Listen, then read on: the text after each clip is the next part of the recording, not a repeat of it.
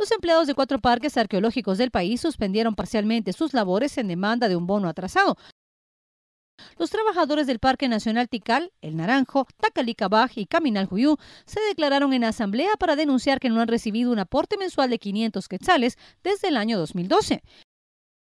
El representante de los inconformes, Roberto Boteo, aseguró que de no haber una respuesta por parte de las autoridades, cerrarán los parques para incrementar la presión y obtener una solución inmediata.